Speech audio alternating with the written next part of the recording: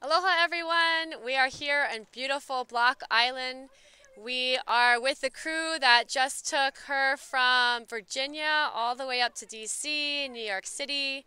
We left New York City on Saturday and spent a beautiful night sailing over here.